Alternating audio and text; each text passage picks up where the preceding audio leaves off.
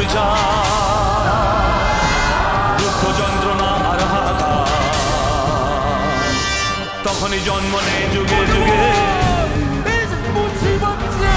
মানুষের শত হুঙ্কার শত্রু ধ্বংসে তাই অস্ত্র নিয়ে মহাকাল আছে প্রলয় হয়ে। শত্রু ধ্বংসে তাই অস্ত্র